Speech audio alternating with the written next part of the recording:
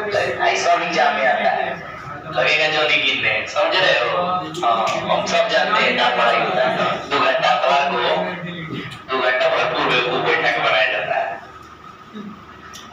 को तो बेवकूफों से पढ़ाता ही हमको को ना पढ़ाने के लिए पढ़ेगा नहीं करेंगे जिन छोड़ दिन में नहीं करा रहा है को कराएगा अखबार को अखबार को सर बनाइएगा अखबार को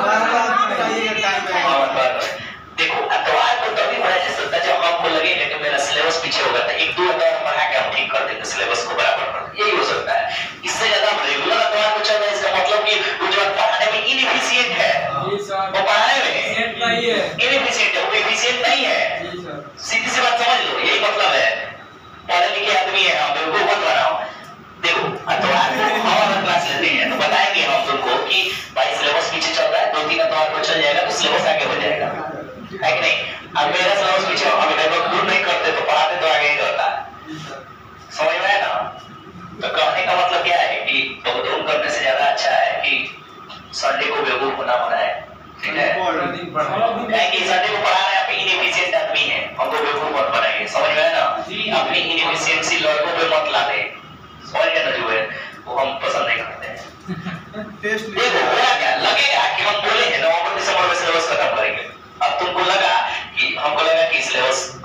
थोड़ा लेट हो जाएगा, दस दिन ज़्यादा पड़ जाएगा तो एक दो संडे को पढ़ा देंगे मेंटेन हो गया चालू है। है कि नहीं? ये हो सकता है। ये नहीं कि हर संडे को दो घंटा आता है तो इनएफिशिएंसी तुम्हारी झलक रहेंगे समझ गए ना? इनएफिशिएंसी एक दिन पढ़ाने से होगा, एक रूटीन में पढ़ाना पड़ेगा। स्कूल में तुम पढ़ते 10th क्लास तक पढ़ते हैं रूटीन में पढ़े हो ना, छह घंटा का स्कूल चलता है पीरियड चलता है, ऐसे होता है ना पढ़ाई। तो कोई भी एक सिस्टम होना चाहिए तो दो घंटा, पाँच घंटा घंटा पढ़ाने से हो जाएगा। समझ रहे हो? हाँ इकोनॉमिक सब टॉपिक में एक दो दो घंटा पढ़ने लायक है। ये वो टॉपिक एक दिन में हालत खराब हो देगा है?